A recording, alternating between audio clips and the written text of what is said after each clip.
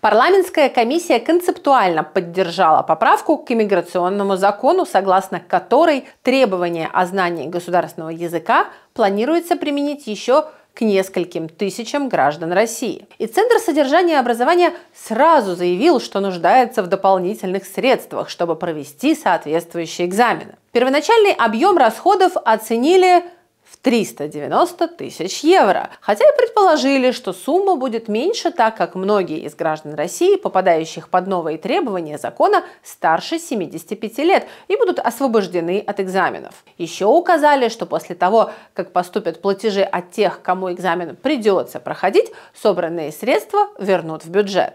Тем самым в Центре содержания образования дали понять, что денег много им не нужно, и они готовы проводить экзамены, которые, по мне, все же больше будут похожи на мучения для пожилых людей. Ведь многие из них уже на пенсии, но 75 лет им нет, а значит сдавать экзамены придется, несмотря на то, что мозг их уже не работает так хорошо. Да и критерии экзаменов жесткие. Необходимо набрать нужные пункты по всем четырем частям – слушанию, разговору, чтению и письму. И вот как раз из-за проблем с письменной частью у многих случаются провалы. Хотя я не понимаю, зачем 70-летнему человеку уметь писать заявление, ведь за него это уже давно делают дети или внуки.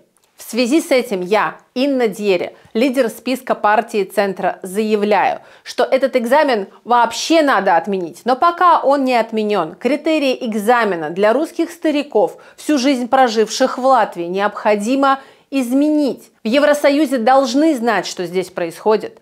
И всех, кто также считает, призываю поддержать наш список номер 6 – партия Центра. Центра партии.